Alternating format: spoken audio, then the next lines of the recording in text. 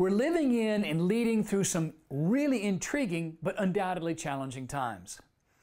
Unfortunately, the reality is what we've experienced these past few years has been way beyond demanding and taxing on everyone's human spirit. And in a world of instant connectivity, we must never forget that people are at the heart of leadership.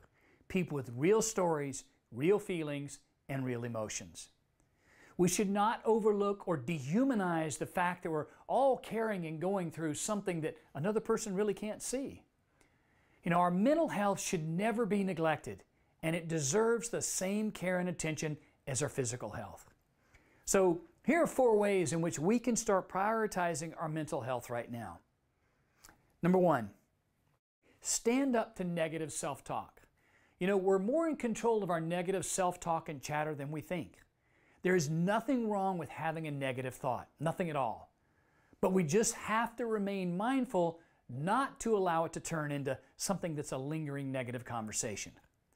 Don't let your mind bully your body into believing that it must carry out the burden of its worries. Number two, stop saying yes when you want to say no. Using no is a complete sentence. Realize that our time is limited and the art of managing our energy is more important than ever. If we attempt to please everyone without nurturing our own spirit, we open ourselves up to, to resentment and burnout and internal turbulence. Number three, move your body. You know, we were born to move, yet we find our days consumed with a, a lot of stirring and sitting in front of those computer screens. Getting creative and intentional with moving our bodies for something like a walk or dancing or stretching or even exercise can boost our mood and reduce our stress. These acts can help us feel a lot better and more alive. And then lastly, ask for help when you need it. You know, asking for help does not make us inadequate.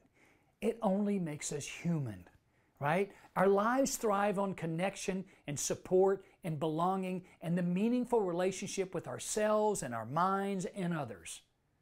Putting our ego and pride aside and asking for help is a radical act of self care that we deserve. You know, life can be tough, and the reality is it's probably going to get tougher. But remember, it is okay to not have it all figured out. It's okay to not be okay.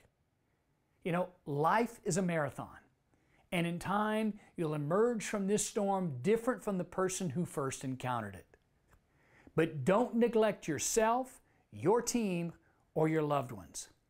I think it's time that we rethink and do more about our mental health, our self care, and our well being, starting right now. To your health.